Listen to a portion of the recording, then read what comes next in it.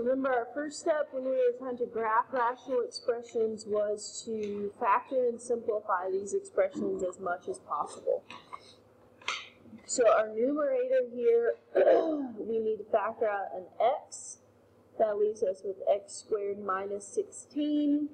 I don't really know how you prefer to do it. Let's go ahead and finish factoring that so we don't get distracted by what's going on in the denominator x squared minus 16 is the difference of perfect squares, so it factors into x plus 4 times x minus 4. In the bottom, it also has a GCF of negative 4x. When we take out a negative 4x, we're left with x, and we would have plus 1 because we took out the negative 4. So, when we are analyzing to see if anything simplifies, the only thing that will simplify is the GCF of x. Okay, we can cancel those. So our simplified expression looks like this. x plus 4 times x minus 4 over negative 4 times x plus 1. So when we go through our list, we start with uh, holes. Okay, we canceled one factor. We canceled x equals 0. Or excuse me, we canceled x, so we set that equal to 0. We find out that the x coordinate of our hole is at 0. We'll look in the calculator here in a minute to find the y coordinate. Vertical asymptote, what's left in the denominator we set equal to 0. Negative 4 doesn't equal 0, so we only have to worry about the x plus 1 equaling 0. So that means our vertical asymptote is at x equals negative 1. So we'll go ahead and put that on our graph. Vertical dashed line at negative 1. our horizontal asymptote, we compare the degrees of the numerator and the denominator. I compare that in the original function. Technically, you can compare it at the end, um, but I think it's easier to look at the beginning. We've got degree 3 in the numerator, degree 2 in the denominator, so when the numerator is bigger, we do not have a horizontal asymptote. Okay, no horizontal asymptote. X-intercepts, we take what's left in our simplified numerator, set it equal to 0, we have 2. x plus 4 is equal to 0, x minus 4 is equal to 0, so that means negative 4 is 0 is one of our x-intercepts, positive 4, 0 is our other. Okay, we haven't had a case where we've had multiple x-intercepts, but it is possible.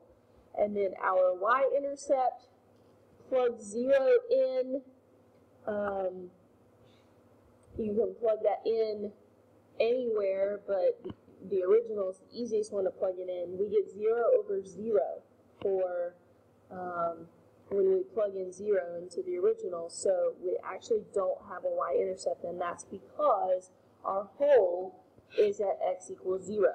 That's where a y-intercept would be, where x equals 0. So we'll find out what its y value here is in a second. So remember, we type in the original and we type in our simplified version, making sure that we get parentheses around the numerator, parentheses around the denominator. Being very careful with parentheses for the simplified version.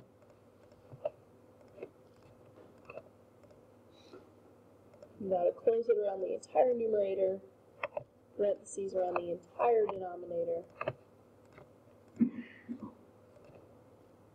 Okay, so when we go to our table, our y values should be the same, um, except for at x equals 0, we have an error for the first one, because it's a hole, but the second one tells us what the y value is. Um, so our hole is at 0, 4. So at 0, 4 is where we're going to put our open circle there. Um, we can see that at positive 4, the y value is 0. At negative 4, the y value is 0. At negative 1, we have an error in both of them. Remember when the error shows up in both y1 and y2, that's when it's a vertical asymptote. Um, let's get some exact points here just to add some accuracy to our graph. Negative 2, negative 3. I like to do whole numbers as much as possible. Uh, 2, positive 1. Mm, negative 6, positive 1.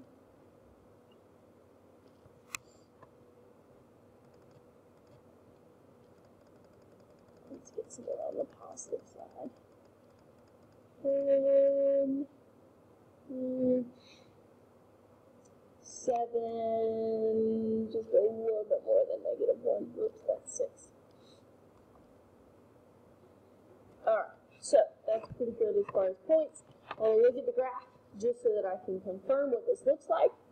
Okay, this one looks just a little bit different because it doesn't have a horizontal asymptote that it's approaching. It's only approaching the vertical asymptote. So you'll notice that the ends here on the left side, it continues to kind of increase instead of leveling off. And then the same thing on the right side. It's going to continue to decrease um, instead of leveling off to a horizontal asymptote. Okay. Remember that the calculator does not show you the detail of a hole. That's something that you have to know to be able to put in there yourself. Um, and the vertical asymptote, obviously, the calculator graphs as a solid line, but on your graph it should be a dashed line. Okay? Alright. Um, let's do number 21 as well. Let's do number 21 x cubed plus 2x squared minus 3x over negative 3x squared plus 3x. Alright, so um, we want to factor and simplify. So in the numerator, we start with the GCF of x. Leaves us with x squared plus 2x minus 3. In the denominator, let's take out a negative 3x because the leading term is negative, we want to factor out that negative. So it leaves us with x minus 1 because the second 3x was positive. So when we factor out a negative, it's going to make that a negative 1. The numerator can be factored further into x plus 3 times x minus 1. Make sure that you are careful with that though so that you don't cancel something that should not be canceled. So in this case, we can cancel x minus 1 in the numerator and the denominator, and we can cancel out just x in the numerator and in the denominator. So our simplified function is x plus 3 in the numerator over We've got negative 3 left in the denominator. Remember, we don't like to leave the negative in the denominator, so I'm going to slide that to the numerator, making sure that I keep parentheses around the x plus 3. And now, it really doesn't matter when you type that into your calculator if you type the negative in the denominator with the 3. Um, it's just when you're writing your answers. You want to keep the negatives in the numerator. Alright, so going through our list. Um, holes. We had two things that we canceled. We haven't dealt with having two holes, um, but we canceled x and we canceled x minus 1. So we have a hole at x equals 0 and we have a, hole at x equals positive 1. We'll find the y values here in a minute. Um, which you can find them by hand, guys. Um, I'm just showing you how to find them on the calculator. You can plug them into the simplified version. Um, so if we plug 0 into our simplified function here, 0 plus 3 is 3. Negative 3 over 3 is negative 1. And if we plug in 1, 1 plus 3 is uh, 4. So that's 1 negative 4 thirds. Alright, or you can get the information off the calculator. Either way. I'm just showing you where it comes from. Um, vertical asymptote. What's left in the denominator set equal to 0, well, 3 cannot equal 0, so we don't have a vertical asymptote for this one. We have two holes instead. Now, that's not to say that if you have two holes, that you automatically don't have vertical asymptote. That's just the case here. Horizontal asymptote, compare the degree of the numerator to the degree of the denominator. Same case we just had. The numerator is greater than the denominator, so we have no horizontal asymptote. X-intercepts, what's equal, or excuse me, what's left in the numerator set equal to zero. So negative 3, 0 is our x-intercept. And it doesn't matter, that negative in front really does not matter. You could distribute it and you would get the same answer. You should get the same answer. Y-intercept, we don't have one because our hole was at x equals 0 again. So since I went ahead and calculated the holes, I'm going to go ahead and graph them. 0, negative 1, and 1, negative 4 thirds. That's just a little bit more than negative 1.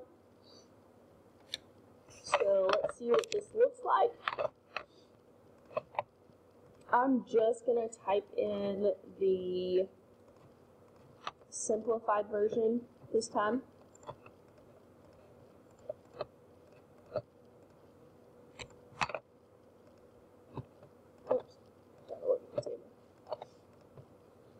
Okay, in the table we can confirm some of these things. Uh, x equals 0, there's the y value, negative 1, positive 1, negative 1.333 is negative 4 thirds.